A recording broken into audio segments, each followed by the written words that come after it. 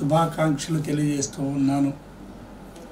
నా జీవితంలో నాకు ఇష్టమైన పండుగ ఏదైనా ఉన్నది అంటే అది క్రీస్తు పునరుద్ధానపు పండుగ.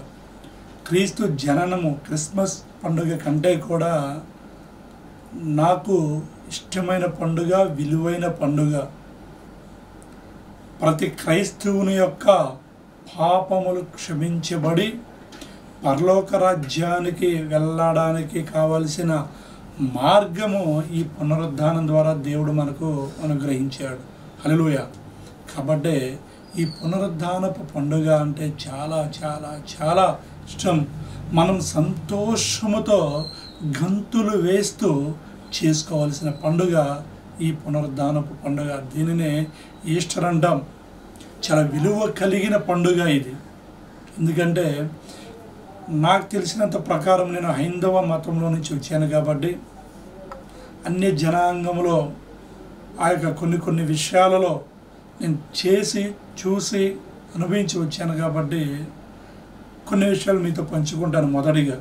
లేఖన భాగాలు చూసే ముందు. నేను చదువుకున్న పుస్తకాలలో నాకు తెలిసిన జ్ఞానంలో మొదటిగా ప్రజలు పశుపతిని పూజించేవారు అనగా పశువులను దేవుడిగా ఆరాధించేవాళ్ళు. అది ఎక్కడ మొదలైంది అంటే మోషే దేవుడు సన్నిధిలో నలభై రోజులు ప్రార్థించడానికి దేవుడి చేత పిలువబడినప్పుడు అహరోను ద్వారా ఏర్పడింది ఆ పశుపతిని పూజించడం అనేది. ఆ తర్వాత చెట్లకు పుట్లకు పూజించేవాళ్ళు. ఆ రాను రాను తర్వాత ప్రజలు జైన మతమును అనుసరించడం ప్రారంభించారు. జైన మత వ్యవస్థాపకుడు వర్ధమాన మహావీరుడు. ఆయన యొక్క బోధనలు విని ఆయనే దేవుడని ఆయన ద్వారానే ముక్తి మార్గం ఉంటుందని ఆయనని కొన్ని సంవత్సరాల పాటు ఆరాధించారు. అయితే ఒకనొక రోజున ఆయన మరణించాడు. కానీ తిరిగి లేవలేకపోయాడు. తిరిగి లేచిన సాక్ష్యాలు ఆధారాలు కూడా ఎక్కడ మనకు లేవు. కాబట్టి మరణాన్ని జయించి తిరిగి లేవలేదు కాబట్టి ఆయన దేవుడని నేను నమ్మట్లేదు. తర్వాత కొద్ది సంవత్సరాల పాటు ఈ ప్రజలందరూ కూడా బౌద్ధ మతమును అనుసరించడం ప్రారంభించారు. ఈ బౌద్ధ మత వ్యవస్థాపకుడు గౌతమ బుద్ధుడు సిద్ధార్థుడు. ఆయన స్థాపించిన ఈ మతమును అనేక దేశాలలో భారతదేశంలో పుట్టిన ఈ మతము ఇప్పుడు అనేక దేశాలలో పాటిస్తున్నారు. అయితే ఆయన కూడా అనేక సిద్ధాంతాలను బోధించాడు. ఆయన ఆయన ఒకనొక రోజున మరణించాడు. కానీ తిరిగి లేచిన ఆధారాలు సాక్ష్యాలు ఎక్కడ మనకు కనిపించవు.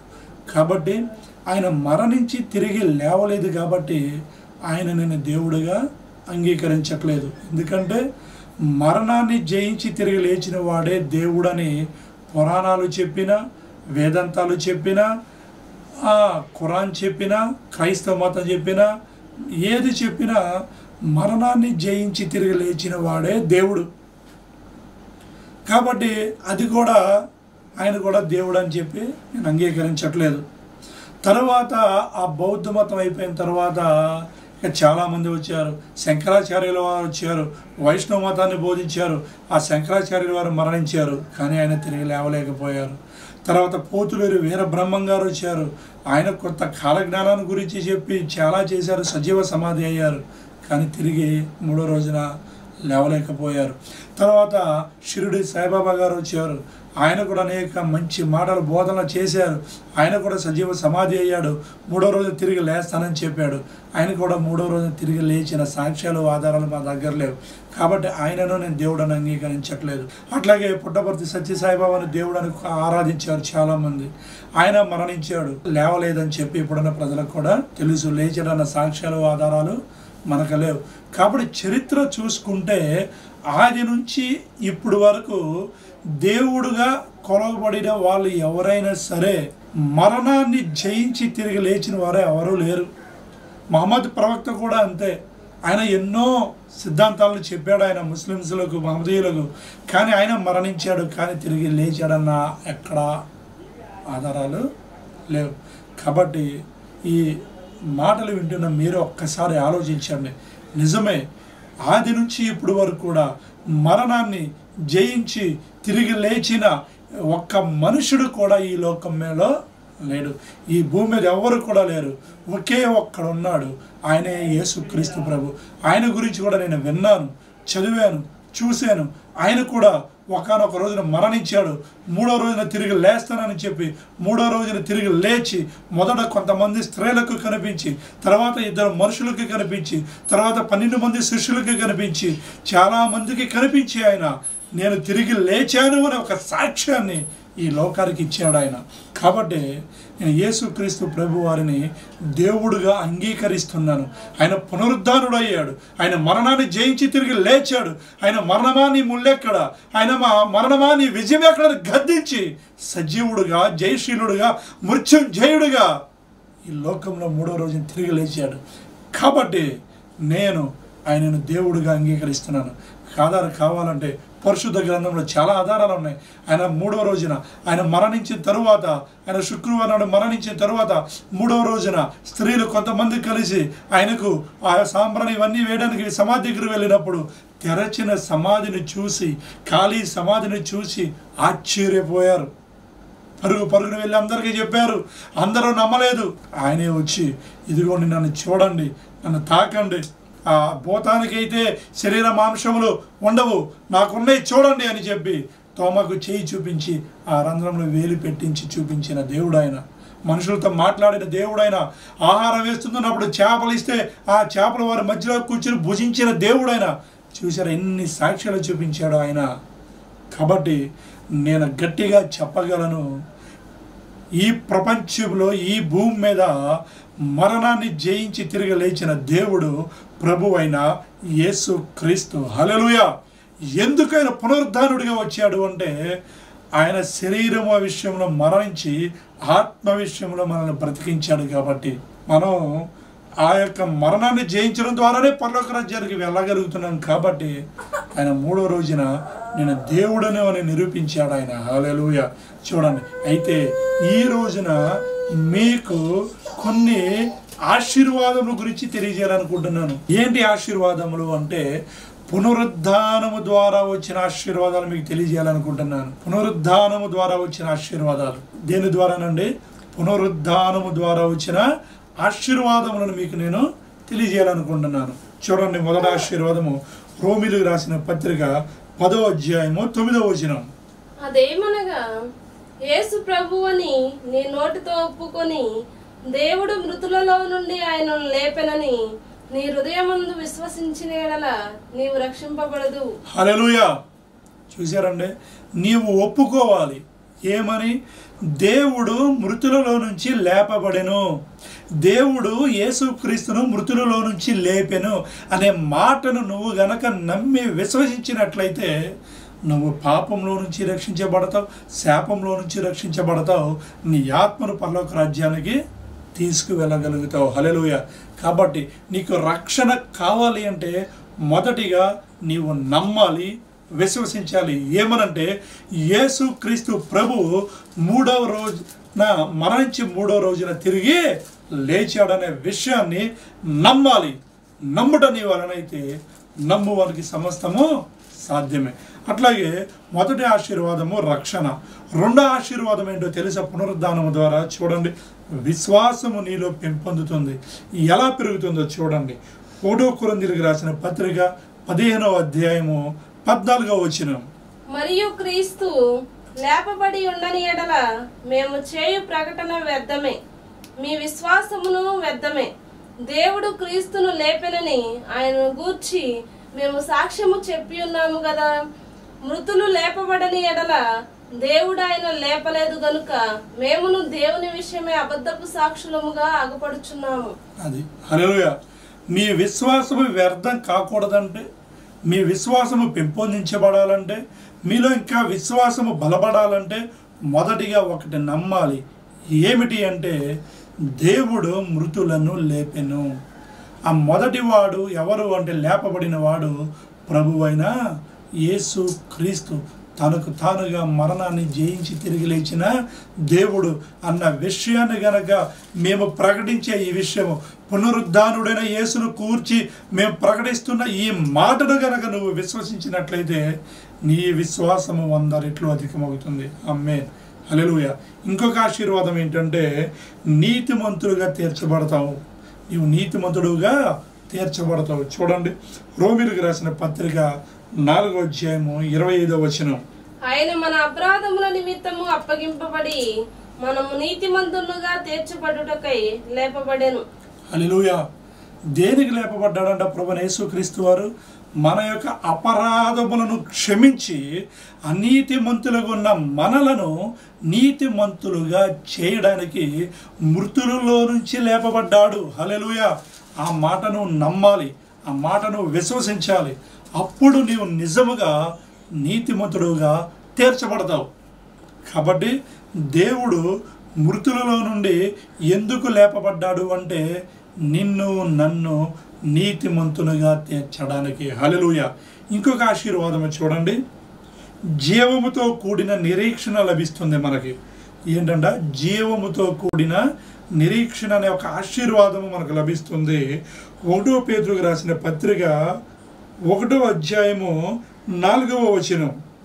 మృతులలో నుండి యేసుక్రీస్తు తిరిగి లేప లేచుట వలన జీవంతో కూడిన నిరీక్షణ మనకు కలుగునట్లు అనగా అక్షయమైనదియు నిర్మలమైనదియు వాడబారనిదియునైన స్వాస్యమును మనకు కలుగునట్లు. ఆయన తన విశేష కలికరము చొప్పున మనలను మరలా జన్మింప చేసెను చూసారండి దేవుడు దేని ద్వారంట? విశేష కనికరము చొప్పున. తన యొక్క విశేష కనికరము చొప్పున మనలను తిరిగి లేపి జీవింపజేశాడండి ఆయన. దేని ద్వారా?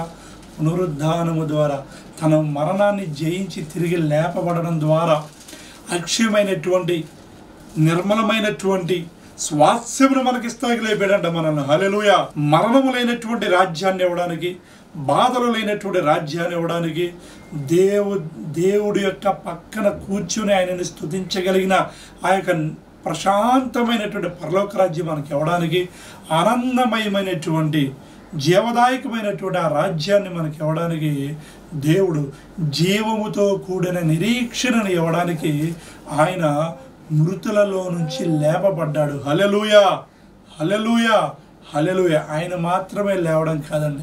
మనల్ని కూడా తనతో పాటుగా లేపి తీసుకువెళ్తున్నాడు ఆయన. అలెలుయ ఇంకొక ఆశీర్వాదం చూడండి. అందుకే జీవంతో కూడిన నిరీక్షణ ఇచ్చాడు ఆయన. ఇంకొక ఆశీర్వాదం చూద్దాం మనము. వాడబారని స్వాస్యం ఇస్తున్నాడు మనకి. ఏ స్వాస్యం అండి?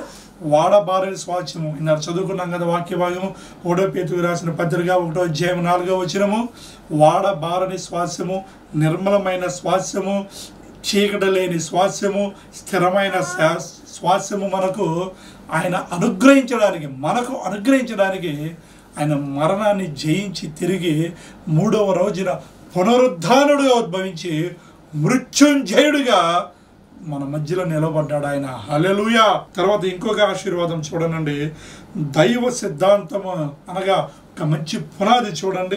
ఏప్రిల్కి రాసిన పత్రిక ఆరో అధ్యాయం రెండవ వచనం. దేవుని అందరి విశ్వాసమును బాప్తీసములను గూర్చిన బోధయు క్రీస్తు మృతుల పునరుద్ధానమును నిత్యమైన తీర్పును అను పునాది మరలా వేక క్రీస్తును కూర్చున్న ములోకపదేశమును మాని సంపూర్ణమగినట్లు సాగిపోదుము. అది దేవుడు ఏంటంటే మంచి పునాది. దేవుడు మంచి పునాది వేశాడు మనకేంటి అంటే నిత్య జీవం అనే పునాది మీద మనం నిలబెట్టాడు ఆయన ఈ పునరుద్ధానం ద్వారా. వేరే బోధన ఇంకేమి లేవు. వేరే ప్రకటన ఇంకేమీ లేదు. ఒకటే ప్రకటన యేసుక్రీస్తు మరణాన్ని జయించి తిరిగి లేచాడు. అదే మనకు పునాది. ఎక్కడికి పునాది అంటే స్థిరమైన పునాది పరలోక రాజ్యానికి. ఆయన ఆ పునరుద్ధానం ద్వారా మనకు నిత్య జీవం అనే ఒక గొప్ప ఆశీర్వాదమును మనకు దయచేశాడు ఆయన. హలెలూయ అట్లాగే ఇంకొక ఆశీర్వాదం చూడండి. మృతులలో నుండి పునరుద్ధానమును దేవుడు మనకి ఇచ్చాడు చూడండి.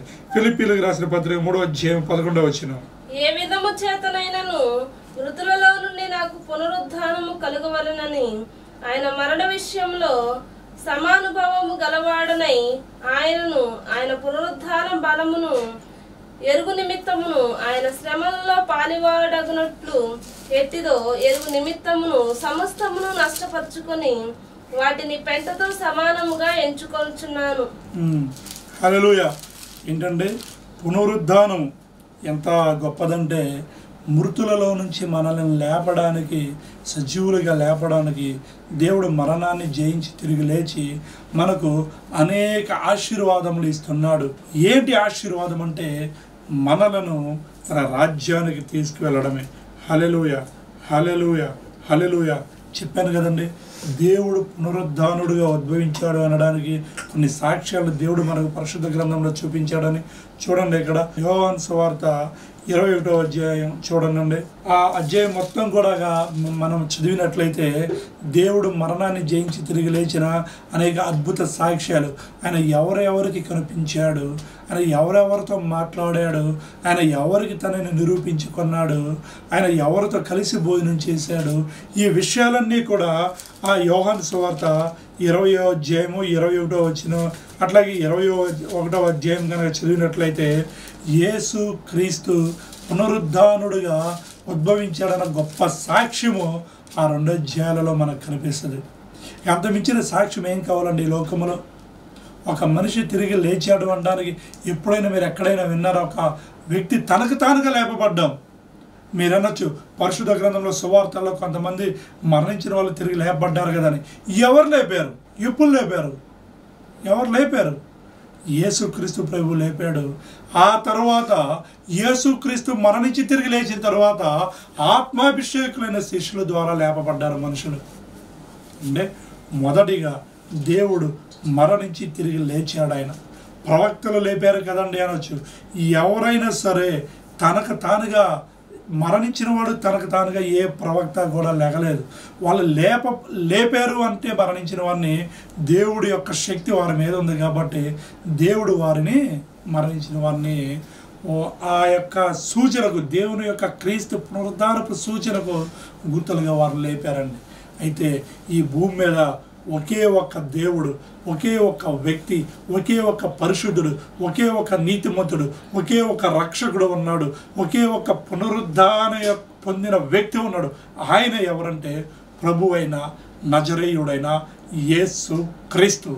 యేసు క్రీస్తు తిరిగి లేచాడని నువ్వు నమ్మితే నీకు జీవముతో కూడిన రాజ్యము లభిస్తుంది. అదే పరలోక రాజ్యము. హలెలుయా హలెలుయా అందుకే యేసు అంటున్నాడు కదా నేనే జీవము నేనే పునరుద్ధానము. నా ద్వారానే తండ్రి యొద్దకు మీరు రావాలి. అంతే. పునరుద్ధానమును నేనే అంటున్నాడు ఆయన. యాస్ మరణ జీవములు ఆయన వశంలో ఉన్నవి. లేపబడాలన్నా ఆయనే మరణించాలన్నా ఆయనే బ్రతకాలన్నా ఆయనే మన సంతోషంగా ఉండాలన్నా ఆయనే. అందుకే ప్రభుల యేసు క్రీస్తు మృత్యుంజయుడు ప్రభున యేసు క్రీస్తు జయశీలుడు ఓ మరణమాని ముల్లెక్కడ? ఓ మరణమాని విజయం ఎక్కడని గద్దించిన ఏకైక దేవుడు నజరేయుడైన యేసు క్రీస్తు. ప్రియులారా మీ అందరికీ నేను మరలా చెప్తున్నాను. మీరు నమ్మండి నమ్మి విశ్వసించండి వెళ్ళండి వెళ్ళి అన్యులందరికీ తెలియచేయండి.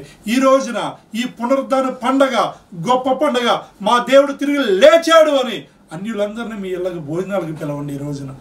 సంతోషంగా పొరుగు వారికి కనీసం ఒకరికైనా భోజనం పెట్టి అమ్మ ఈరోజు మా దేవుడు తిరిగి లేచాడన్న ఒక గొప్ప శుభార్తను అందరికీ తెలియచేయండి అమ్మ. అదే నా యొక్క కోరిక. ఈ రోజున అన్ని చూడండి ఏదైనా పండగ చేసుకుంటున్నప్పుడు పక్క వారిని పిలిచి పెడితే వాళ్ళ దేవుడు గొప్పతనం చెప్తూ ఉంటారు. కావి అవి నిజమైన కాకపోయినా సరే వారి విశ్వాసం. కానీ మంది నిజమైనది బలమైనది రుజువైనది. కాబట్టి ఈ రోజున ఈ పునరుద్ధాన పండగ రోజున ప్రతి క్రైస్తవుడు ఒక్కొక్క అన్యుణ్ణి తమ ఇంటికి భోజనానికి పిలిచి భోజనం పెట్టి అమ్మ ఈ రోజున మన పాపముల నిమిత్తమే యేసు క్రీస్తు తనకు తానుగా సిలువలో మరణించి మన కోసము మూడో రోజున తిరిగి లేచాడు. ఆయన పునరుద్ధరణ ద్వారానే మనకు పరలోక రాజ్యం ఉన్నదని ఈ రోజున మీరు ఒక్క వ్యక్తిగా మీరు తెలియజేసినట్లయితే దేవుడు మీ పాపములన్నిటినీ క్షమిస్తాడు ఆయన. ఒక పాపిని నడిపించిన వ్యక్తి యొక్క పాపములు కూడా క్షమించబడతాయని యోహాన్ రాసిన పత్రికల్లో ఉంటుందండి. కాబట్టి మీరు ఆ మాటను జ్ఞాపకం చేసుకొని మీ అందరికీ మరొక్కసారి నేను తెలియజేస్తున్నాను. ఈ రోజున ప్రతి ఒక్క క్రైస్తవుడు కూడా ఒక్క అన్యుడికైనా సరే భోజనం పెట్టి మన దేవుని యొక్క పునరుద్ధానపు శక్తి వారికి తెలియచేయమని అనేక మందిని ఈ నిత్య జీవంలో నడిపించమని మీ అందరికీ నేను తెలియజేస్తున్నాను. మీ అందరికీ పునరుద్ధానపు శుభాకాంక్షలు మరలా తెలియజేస్తున్నాను. ఎందుకంటే దేవుడు మనతో ఉన్నాడు సజీవముగా. ఈ యేసుక్రీస్తు ప్రభు పునరుద్ధానుడు. యేసుక్రీస్తు ప్రభు మృత్యుంజయుడు. యేసుక్రీస్తు ప్రభు జయశీలుడు. యేసుక్రీస్తు ప్రభు నీతిమంతుడు. యేసుక్రీస్తు ప్రభు రక్షకుడు. యేసుక్రీస్తు ప్రభు సుగుణాల సంపన్నుడు. యేసుక్రీస్తు ప్రభు సర్వాంగ సుందరుడు. యేసుక్రీస్తు ప్రభువు మరణము లేనివాడు. యేసుక్రీస్తు ప్రభువు జ్యోతిర్మయుడు. యేసుక్రీస్తు ప్రభువు పరిశుద్ధుడు యేసుక్రీస్తు ప్రభువు పాపము లేనివాడు యేసుక్రీస్తు ప్రభువు శాపము లేనివాడు యేసుక్రీస్తు ప్రభువు మరణము లేనివాడు. కాబట్టి ఆ మహోన్నతుడైన యేసుక్రీస్తు చాటున నివసిద్దాం. ఏ బాధ ఏ కష్టము ఏ మరణము ఏ నరకము మన యొక్కకు రాకుండా సజీవంగా దేవుని రాజ్యంలో బంగారు లోకములో సంతోష లోకములో ఆకలి లేని లోకములో దప్పిక లేని లోకములో మన దేవుణ్ణి నిత్యము కూడా స్తుతిస్తూ ఆనందంగా గడుపుదాం. కాబట్టి మీ అందరూ ఏం చేయాలంటే ఈ రోజున కనీసం ఒక్క అన్యుడనైనా సరే మీ ఇంటికి పిలిచి ప్రేమతో సంతోషంగా భోజనం పెట్టి ఈ రోజున మన అందరి కోసము నీ నిమిత్తము దేవుడు మరణాన్ని జయించి తిరిగి లేపబడ్డాడనే గొప్ప సాక్ష్యాన్ని మీరు ప్రకటించమని యేసుక్రీస్తు బిడ్డగా నేను మీకు తెలియజేస్తూ ఉన్నాను. ఈ నా మాటలు మీరు విని ఆచరిస్తారని నేను నమ్ముచున్నాను. కాబట్టి మరొక్కసారి మీ అందరికీ పునరుద్ధానపు శుభాకాంక్షలు తెలియజేస్తున్నాను నా దేవుడు మృత్యుంజయుడు నా దేవుడు సజీవుడు నా దేవుడు మరణము లేనివాడు నా దేవుడు ఓ మరణమా నీ ముళ్ళెక్కడ ఓ మరణమా నీ విజయం ఎక్కడని గద్దించినవాడు నా దేవుడు మూడో రోజున మరణాన్ని జయించి తిరిగి లేచినవాడు.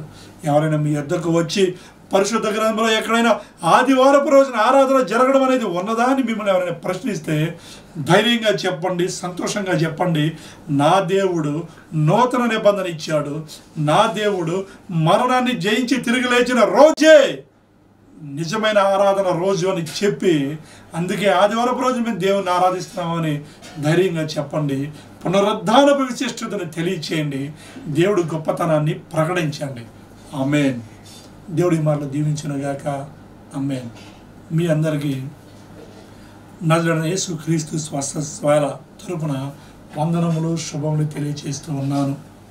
ఎందుకంటే మల్లవల్లి గ్రామంలో ఏర్పాటు చేసిన స్వస్థశాలలో ప్రతి శుక్రవారం కూడా రోగములు రోగుల గురించి అట్లాగే అనేక దురాత్మల చేత చేతబడుషుల చేత పీడింపబడుచున్న వారి గురించి బాధలో ఉన్న వారికి ఓదార్పు కోసము ఆర్థిక సమస్యలతో బాధపడుతున్న వారికి సంతోషంగా దేవుడు ఉన్నాడనే ఒక గట్టి నమ్మకాన్ని తెలియజేయడానికి ఉపవాస ఆరాధన చేస్తున్నాము. అనేక ప్రాంతాల నుంచి అక్కడ వస్తున్నారు. భోజన సదుపాయం కూడా మేము ఆ రోజు ప్రతి శుక్రవారం కూడా భోజనాలు ఏర్పాటు చేస్తున్నాము. అట్లాగే ప్రతి ఆదివారపు సంఘ ఆరాధనలు ఉంటాయి. కాబట్టి మీలో ఎవరైనా మాతో పాటు కలిసి ఉపవాస ప్రార్థనలో ఉండాలనుకున్నా రక్షణ పొందుకోవాలనుకున్నా దేవుని ఆరాధించాలనుకున్నా ప్రేమపూర్వకంగా ఆహ్వానిస్తున్నాము మల్లవల్లి గ్రామంలో నజరేడైన యేసు క్రీస్తు స్వస్థతశాల ప్రార్థన. పరిశుద్ధుల మీకే స్థుతులు స్తోత్రం తెలియజేసిన ఈ పునరుద్ధానపు పండుగను ఎంతమంది అయితే జరుపుకుంటున్నారో అందరి కుటుంబాలలో నీ పునరుద్ధానపు శక్తిని నింపమని ప్రార్థన చేస్తున్నాము తండ్రి.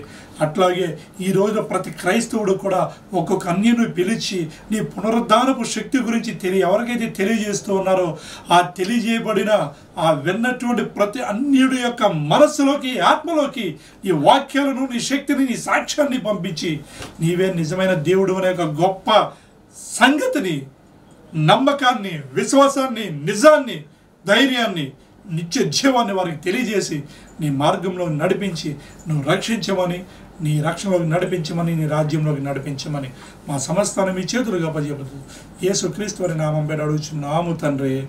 ఆమె ఆశీర్వాదము. మన తండ్రి అయినటువంటి యహో దేవుని నిత్య ప్రేమయు దేవుని కుమారుడైన నజరుడైన యేసుక్రీస్తు దేవుని యొక్క నిత్య కృపయు మన ఆదరణకర్త అయినటువంటి పరిశుద్ధాత్మ దేవుని యొక్క నిత్య అన్యోన్య సహవాసము సదాకాలం మనందరికీ తోడై ఉండునుగాక. అమ్మేన్ ఆమెన్ అమ్మేన్ పునరుద్ధానుడైన యేసుక్రీస్తు నామంలో మీ అందరికీ నా వందనాలు తెలియజేస్తూ ఉన్నాను. ఆమెన్.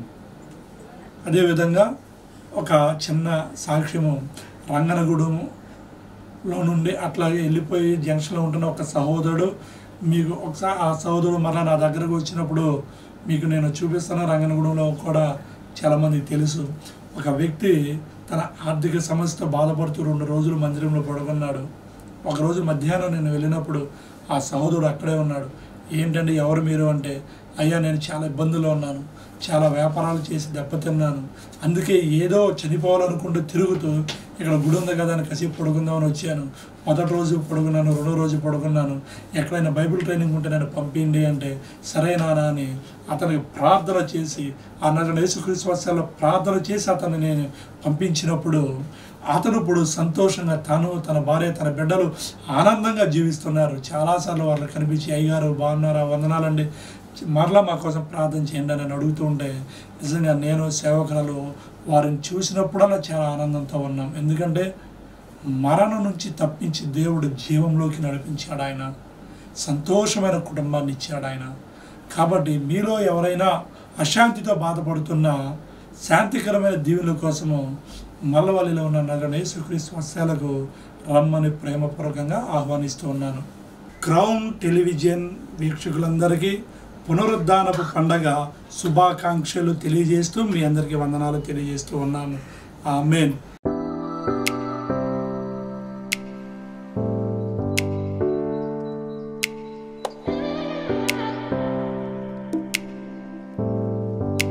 ప్రతి ఒక్కరికి చిన్న సాక్ష్యము. దేవుడు నాకు అనుగ్రహించిన కుమారుడు. పేరు అభిషేక్ మృత్యుంజయ్. దేవుడు దర్శనంలో సేవకురాలతో మాట్లాడి నీకు కుమారుని ఇవ్వబోతున్నాను మృత్యుంజయ అని పేరు పెట్టమన్నప్పుడు మరి దేవుని యొక్క మాట చొప్పున ఆ కుమారుడు పుట్టక ముందే సేవకులందరినీ పిలిచి నాకు యేసుక్రీస్తు సేవలో ప్రార్థన ఏర్పాటు చేసి వారందరికీ చెప్పి ఇలా నాకు దేవుడు కుమారుడిని ఇస్తున్నాడు మృత్యుంజయ అని పేరు పెడుతున్నాము అన్నప్పుడు మరి మా ఆత్మీయ తండ్రి ద్వారా మేము ప్రార్థన చేసుకుని అభిషేక్ మృత్యుంజయగా ఈ బిడ్డకు నామకరణం చేశాం. మృత్యుంజయుడు. దేవుడు మరణాన్ని జయించి తిరిగి లేచినాడు కాబట్టి ఆయన మృత్యువును జయించాడు కాబట్టి అదే పేరు నా బిడ్డకి పెట్టాడు దేవుడు.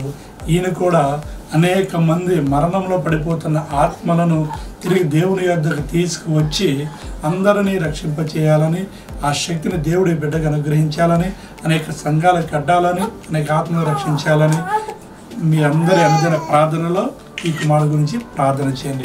చీకటి శక్తులతో బాధపడుచున్నారా? ఆర్థిక ఇబ్బందులతో నలిగిపోతున్నారా? సంతానలేమితో కుమిలిపోతున్నారా? మానసిక ఇబ్బందులతో నలిగిపోతున్నారా? అయితే రండి. మీరు మనం మనంతా కలిసి నజరనేసు క్రీస్తు స్వస్యాలను దేవుని నామంలో ప్రార్థిద్దాం. వాటన్నిటి నుంచి విడుదల పొందుకుందాం. అయితే మా అడ్రస్ నజరనేసు క్రీస్తు స్వస్యాల మలవల్లి బాపులపాడు మండలం కృష్ణా జిల్లా మా phone number double nine four eight two three zero nine three zero మరి యొక్క number seven zero three six five one six zero seven nine.